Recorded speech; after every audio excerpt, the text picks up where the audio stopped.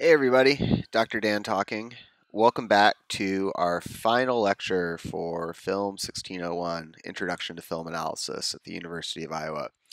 Today we'll be talking a little bit about digital cinema. So, specifically, how have digital technologies changed cinema? This is a huge question so I'm not going to necessarily say everything that there is to say about this subject in this lecture.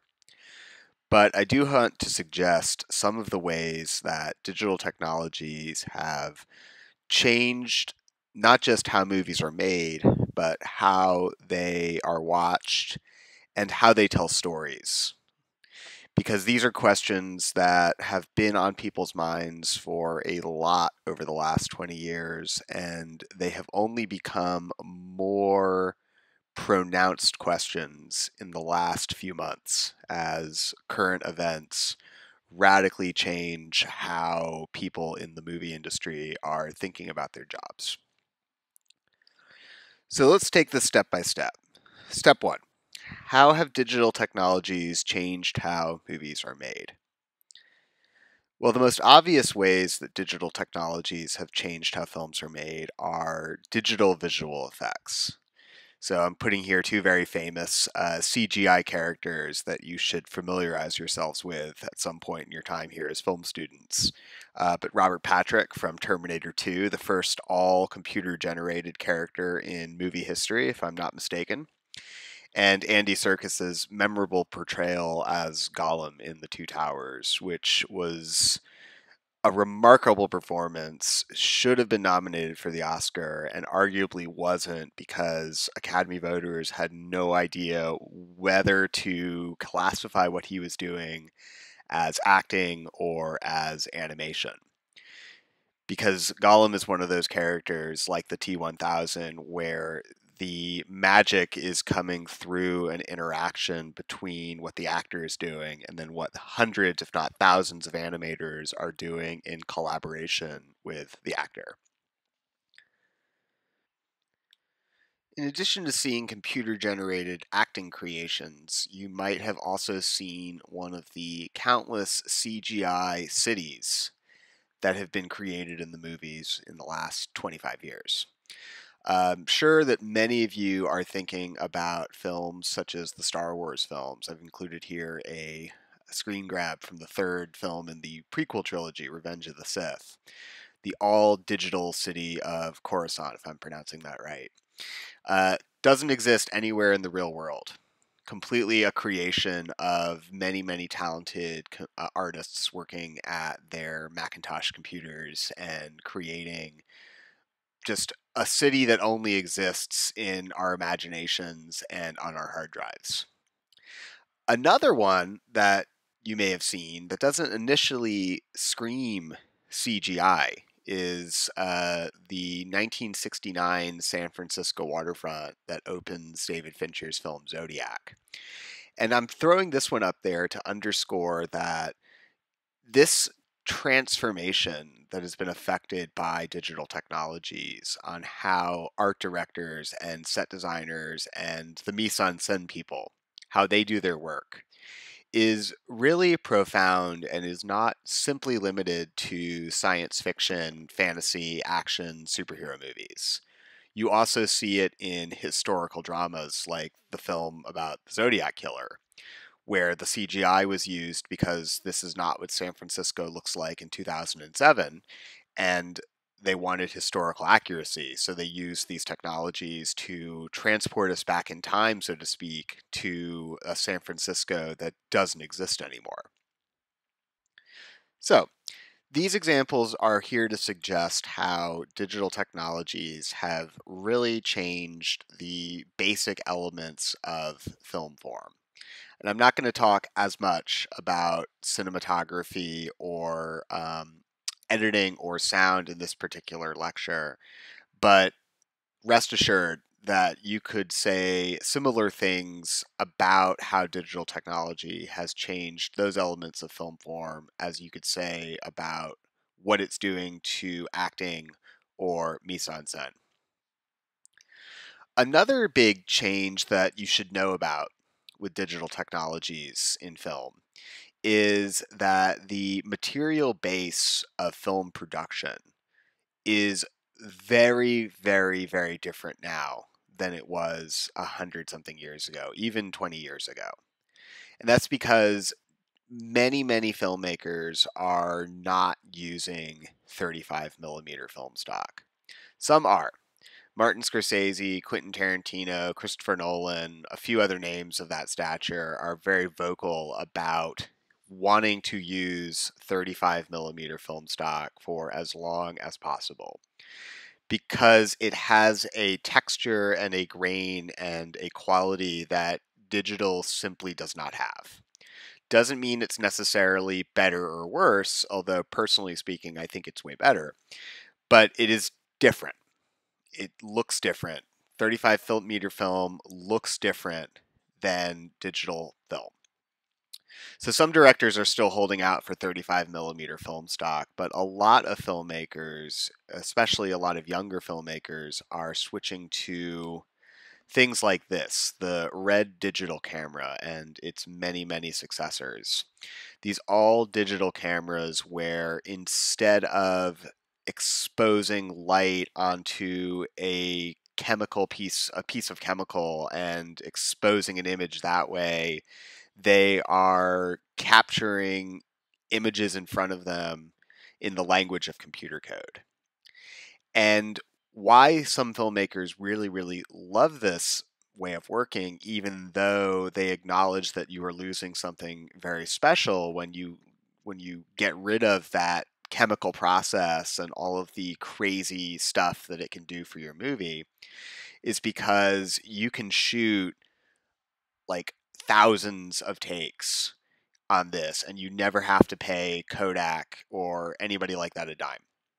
You don't have to buy film stock. You are not limited any longer by how much film you can put in the camera or by what kinds of light will overexpose the film no matter what you do versus the light that you need to capture an image. So it's a very convenient way of working and it makes filmmaking more economical, arguably. But anyway, you, you see these digital technologies being used in a wide variety of different movies. Um, so on the left, Star Wars Episode 2 is famously one of the first films that was using this technology, this digital, entirely digital process of filmmaking. And in 2002, it was a huge deal. Nobody had done something like that before, and nobody was really sure that there was a long term future for this mode of practice. Uh, but flash forward, you know, 20 years, and it has become increasingly the norm for how these movies are being shot. But again, not just science fiction. Uh, in 2008, Steven Soderbergh made this four-hour film about uh, Che, uh, Ernesto uh, Guevara, uh, the the man who was famously partnered with Fidel Castro during the Cuban Revolution in the late 1950s. Uh, and this is a four hour, two part film. And the only way that Soderbergh could make something this monumental and expansive, but also on a relatively modest budget, was to forego the complicated and expensive process of using film entirely. Uh, and it leads him to make some really interesting aesthetic choices. So check out check out both of these films; they're really great. Uh, the other end of the spectrum, you have the increasingly common practice of shooting commercially marketed films on iPhones. Uh, so, two films worth noting are uh, Sean Baker's Tangerine, which my uh, students in American independent cinema will be watching this week. Uh, movie shot entirely on an iPhone uh, about a transgender sex worker. And the iPhone very much is not just something that keeps the cost of the film down so that they can explore a subject that Hollywood is sadly not all that willing to explore on its own terms, but it also allows the film to have a real grounded on the streets immediacy that you don't necessarily get from the more traditional filmmaking process of using 35 or even 16 millimeter film. I also want to put a shout out in for Steven Soderbergh's uh, recent film Unsane, which I thought did a really excellent job of like theorizing and thinking through the effects of using cell phones on what kinds of stories movies can tell. So, in simple English, that means I liked how the entire plot of the film arguably revolves around how the people in this uh, mental institution are not allowed to have cell phones but she needs cell phones to tell the world all the bad things they're doing. So it's a horror film, but it's it's it's it's kind of using the horror film trope as a means of thinking about what does an iPhone do for our movies. Really, really great films. Check them out, both of them. So anyway, I could talk all day about how digital technologies have changed film production, but the uh, that's only one part of the question, right? The other part of the question is how digital technologies have changed film reception, film consumption. So, in simple English, how have digital technologies changed how we watch movies, how we see movies? Well, the big thing that's happened here is the DCP. So this is effectively the same shift as the one I just described from 35 millimeter cameras to like digital reds and other digital cameras and iPhones and so on. But this is on the, the reception side. So when you go to a movie theater, you no longer see, as you did uh, as recently as 10 years ago, uh, a strip of 35 millimeter celluloid being projected onto a big screen. 99 times out of 100, you are seeing a digital cinema package. You are seeing basically a big hard drive, which contains a super high resolution transfer of whatever movie it, it, it, contains. And the projectionist no longer has to get up there and literally thread the film into the spools and change the reels every 15 or 20 minutes or repair the films if the film strip breaks for some reason. You no longer have any of that very, very skilled manual labor going into the f- simple fact of a movie being projected in front of you. Instead, uh, the projectionist basically just takes that hard drive, plugs it into a projection projection machine, types in a password that has been given to them by the studio, and bam, there you go.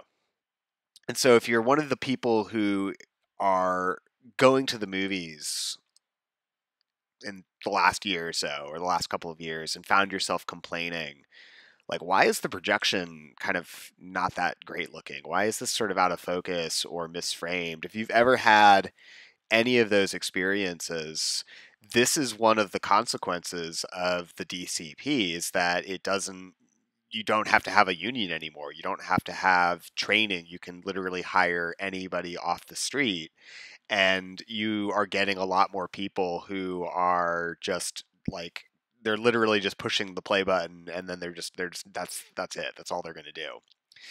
So yeah, the DCP is definitely a cheaper thing for the industry. It is something that arguably uh, is protected against piracy through increased security, blah blah blah. But if you want my personal opinion, this thing is is has I don't want to say it's ruined the movie going experience, but it's definitely put a big dent in it. But anyway, movies are not just being made for DCPs. You also, as you very well know, uh, movies are now in increasingly made for domestic consumption, home video consumption. Uh, so, a couple of popular ones that have come and, in some cases, gone over the last 20 something years are cell phones, uh, Netflix, DVDs, and of course, good old fashioned torrents like Pirate Bay. Not that I can actually tell you anything about them, so just there for educational purposes. But these things have all fundamentally made it easier to access a wide range of movies that have been made from virtually every corner of the world and at every time that films have been made. It's seemingly all available for these platforms. Now, that's a little bit of an exaggeration. There's a lot of really wonderful films that have never found their way onto any of these these platforms. Uh, Netflix, in particular, is awful about curating any films that are made before 1985. But it is true that these technologies have made it so that films that were once only accessible on first run release or if you went out of your way to go to a film archive are now seemingly available at just the click of a button. And so it's a really interesting thing uh, to think about and study. And I've done a lot of research on this question in my dissertation and in my, my other work. Um, but it has fundamentally changed not just what kinds of movies we can access, but of course, what kinds of films are even made to begin with. So, a couple of recent examples of this, the way that these home video technologies have led to different kinds of films being produced are uh, direct to video ish films like the Saw franchise. And I, I say ish because movies like Saw or from an earlier period, Nightmare on Elm Street or Friday the 13th, or arguably some of the Marvel superhero films that are have been produced they're hoping that a certain number of people go and see these films in theaters, but these movies are getting money and financing on the basis of their potential to be hits on home video. So the assumption is that effectively for every one person who sees Saw eh, or a film like that, in a movie theater, you're going to have 10 or even 15 more who see it on Netflix or who buy the DVD or in the earlier moment had the VHS tape. And so it has really changed and what a lot of filmmakers will think and sort of see themselves as doing. It's basically created new new possibilities for new kinds of films. Uh, another recent example is Martin Scorsese's film The Irishman, which would have been impossible to make without Netflix because, in effect, it is a TV miniseries masquerading as a film. And I don't mean that as criticism, but this is a movie that is very aware that most people who are going to watch it, and I think you can say this about most of Netflix's films, they are profoundly aware that they are going to be watched at home. And in Scorsese's case, what it has done is it's enabled him to make a nearly four hour episodic, almost meandering film about these old dying gangsters and all of the regret the regrets they have for for killing folks. So anyway, both both of these are great. Check them out. But we're getting into very quickly the last question that I want to touch on, and this is the one that will directly bear on our film for this week, Searching.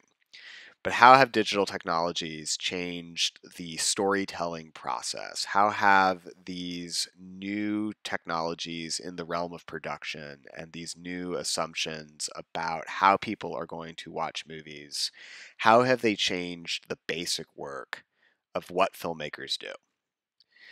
Well, again, huge question. So I'm only going to give y'all a few thoughts on this question, but I freely admit at the outset that there is a lot that I have not going to touch on in uh, in the next couple of slides. So feel free to contribute some of that knowledge about what other things come to mind in your responses. Just just feel free to say, "Oh, here's some other ways that digital technologies have changed how movies tell stories." But one really important one that I do want everybody to know is David Bordwell's idea of intensified continuity. And this is a term that Bordwell coins in the article that you will read for this this week's film. Uh, that has really caught on because it seems to describe a wide variety of different films and filmmaking practices that have become commonplace in Hollywood over the last 25 years. But what is intensified continuity? Well, here's the uh, textbook definition for y'all. Intensified continuity is really just describing how a range of stylistic devices quote unquote amp up the pace of Hollywood storytelling while this is the critical part while preserving classical story principles. So it is exactly what it what it says. It is intensified continuity storytelling. So let's let's pause here and just very quickly review those classical story principles that I introduced to you several weeks ago when we were looking at Casino Royale.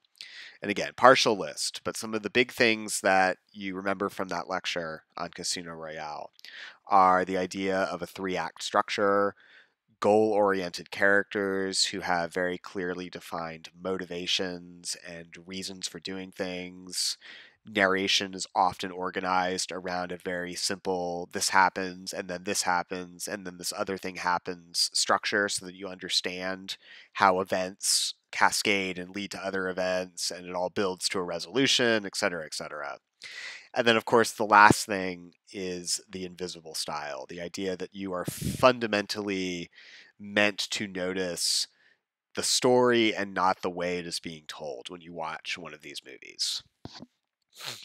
so here's here's the thing. Most of these principles are still in force and can still apply to 90% of the things that Hollywood makes. But here's what you have in addition to those classical storytelling principles that are still in force uh, 100 years later. You have more rapid and non-linear editing. You have editing where even though it preserves some measure of spatial and temporal continuity is speeding up the tempo so that you have a hard time grasping what any one shot is doing unless you're watching the movie frame by frame or shot by shot on DVD or on Netflix. You are more likely, uh, Bordwell says, to have distorted lens lengths, way more fisheye lenses and what telephoto lenses you being used to distort space. You are much more likely to have extremes of lens length in these contemporary Hollywood cinema. The other thing that goes along with that is extremely close framings. You get way more extreme close ups and tilted angles, and just cinematographers really underlining their contribution to the craft of storytelling.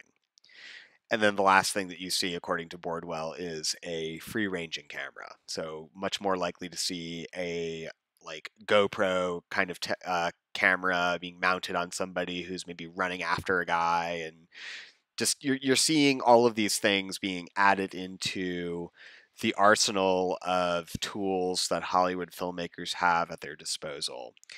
And again, ninety percent of the time, these things are being used to support those traditional goals of storytelling that I outlined a moment ago. Three act structure, goal oriented characters, uh, the cause effect narration, and invisible style is arguably the only one that gets muddled in a lot of these films. But even there, you can say that these film these techniques don't necessarily call attention to the filmmaking process in the same way that like a documentary or an art film like like grizzly man or uh, girl walks home alone at night is calling attention to film as film. Some examples to make this a little bit more concrete uh, the the bourne films or virtually any big budget action film starring a major Hollywood star. So I could have just as easily put some of the Marvel films on the slide, and and it, the, point would still stand. Uh, but one that you have seen very recently for this class is Casino Royale, which is actually, I think, a textbook example of Bordwell's idea of intensified continuity. Uh, because you see in virtually every fight scene all of the things that Bordwell is describing. You see extremely fast editing, you see an extremely fluid mobile handheld camera, you see other things being used to uh, distort the normal rules of Hollywood filmmaking. Uh, the fight scene at the beginning is a great example because it's in black and white. Mm-hmm, but later in the film, uh, when Bond is poisoned, you have oversaturated images. You have a camera that is tilting left and right in crazy, fast, and unpredictable ways. In the bottom image, you have a very clear wide angle lens being used to bring Daniel Craig's uh, stressed out, sweaty face closer to the camera lens and create this distorted effect. But fundamentally, the film is still doing traditional Hollywood things, as I outlined in the lecture from a few weeks previous. So again, it's it's something that is not often radically opposed to traditional Hollywood filmmaking, but rather intensified continuity is exactly what it says. It is a process for intensifying and speeding up and ramping up and making conventional storytelling principles seem faster and more intense. So that's big term number one. Big term number two, which is not described in any of the readings uh, that I made you check out for these uh, for this week. But if anybody is interested in learning more about remediation, come come talk to me. Uh, I, I will I will give you way more information than you ever wanted to know about this subject because this is fundamentally where a lot of my own research uh, lives. So I wanted to let you know a little bit about this concept because I think it really does explain so much about what is happening in contemporary Hollywood films or films of the last 25 years. But remediation is a term that scholars use to describe how films emulate or incorporate stylistic elements from other media.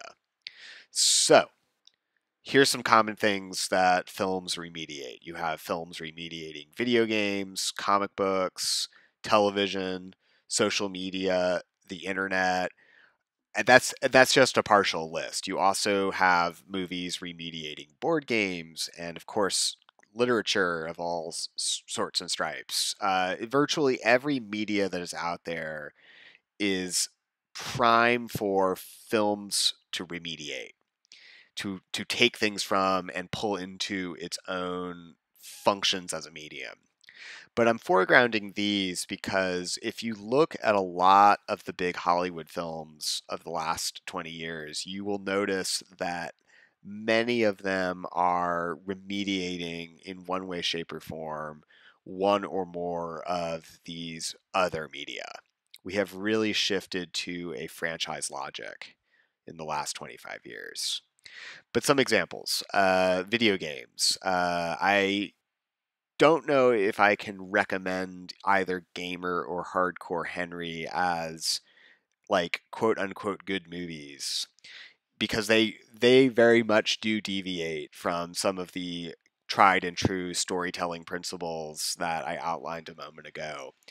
But theoretically speaking, these two things are fascinating because you see in these films and in so many others, uh, filmmakers trying to make their medium more palatable to video gamers, which is a really fascinating idea when you think about how the two media do very very different things and they're not necessarily as aligned in their what they can do as uh, we sometimes like to think. And these two films really are exploring that very directly on the level of narrative content and on the level of form.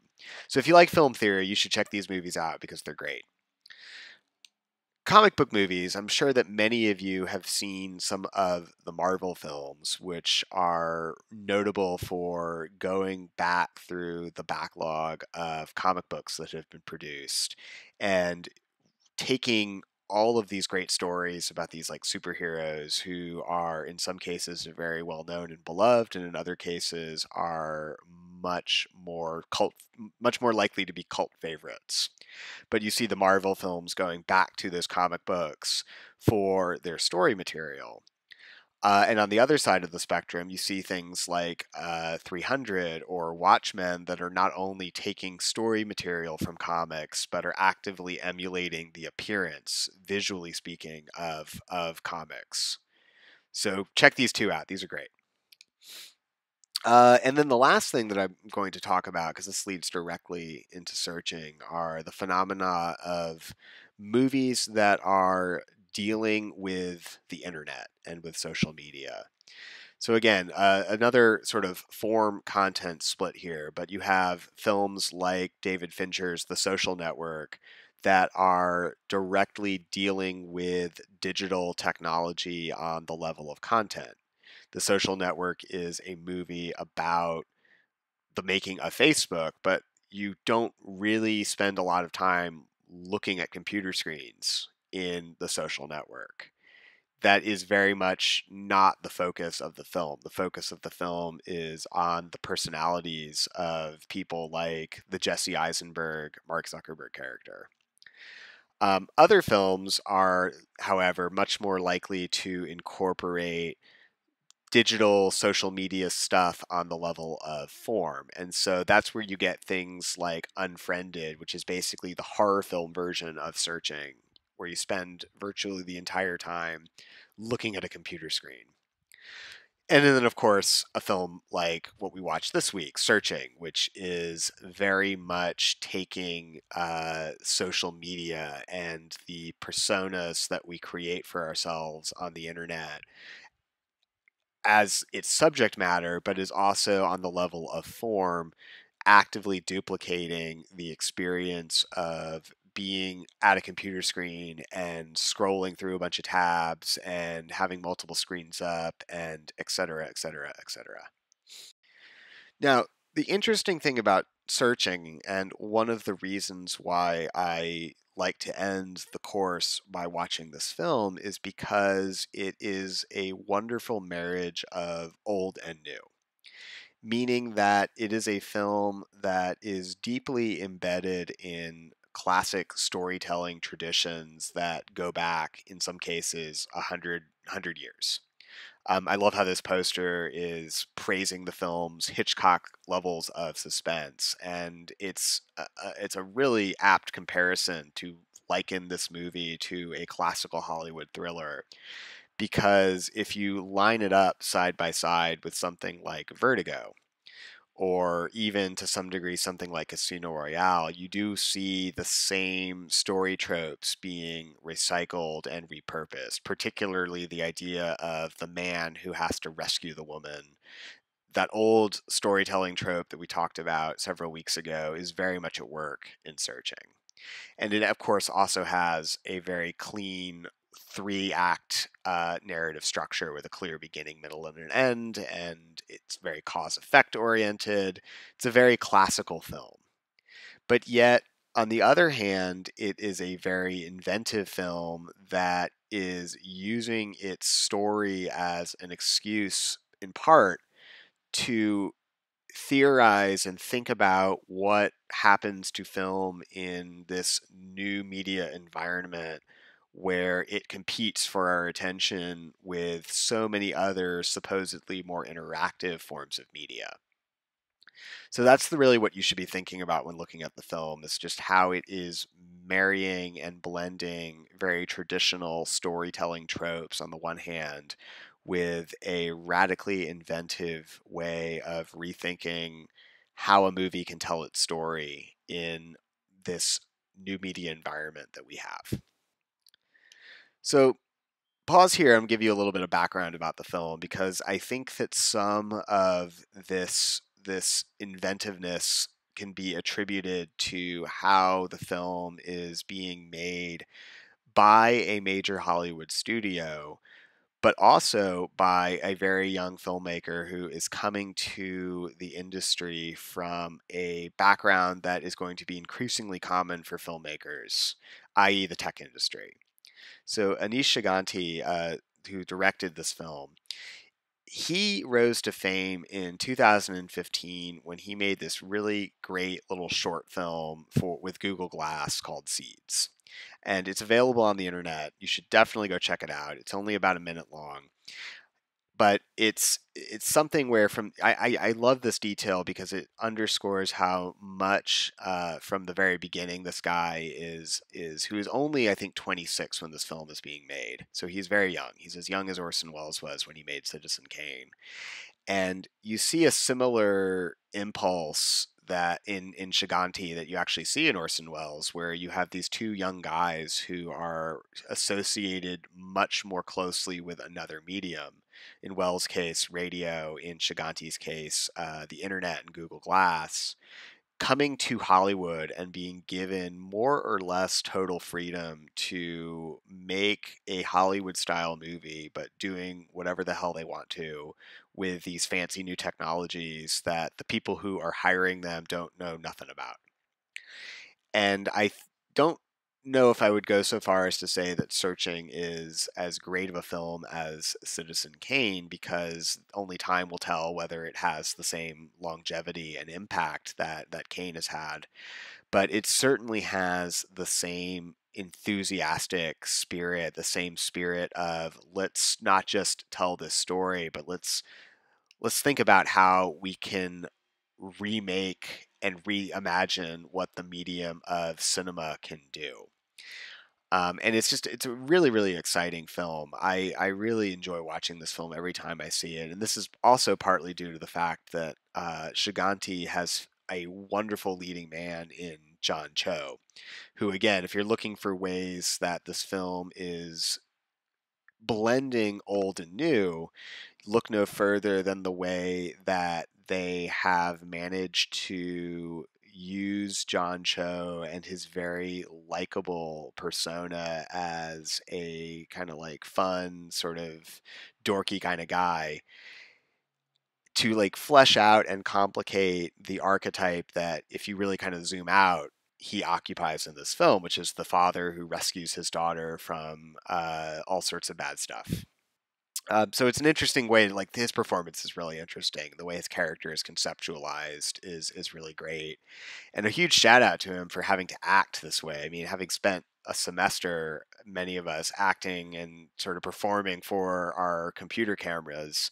Uh, I have a renewed respect for how natural John Cho makes the process of acting in by himself effectively feel and seem in this movie. So again, ways that digital technologies are changing the acting process. It run it runs pretty deep. But one last shout out: Aneesh Chaganty has another movie coming out, uh, hopefully by the end of this year, called Run. And I just check out the trailer; it looks really cool. But I wanted you to know about this. This looks this is he's a, he's a face to watch. All right, so this is the moment you've all been waiting for: suggested journal prompts. Um, don't feel compelled to write about all three of these. Uh, pick one or or two. Um, my suggestion would be to write about one of the new principles that you learned about today intensified continuity or remediation and also answer the first question talking about what elements of classical hollywood storytelling you see in the film because hint hint this is how i know who made it to the end of the lecture there will absolutely be a question on the exam asking you to talk about what classical story principles outlined in the casino royale lecture and recapped here are appearing in searching. So if you write about that now you will have one less question to study for the exam all right, y'all. Uh, that is all the good shit. So I am hopeful that you learned something, that you enjoyed listening to me talk. Uh, have a good one, y'all. Just shoot me an email if there's any questions. Catch you, catch you on the flip side.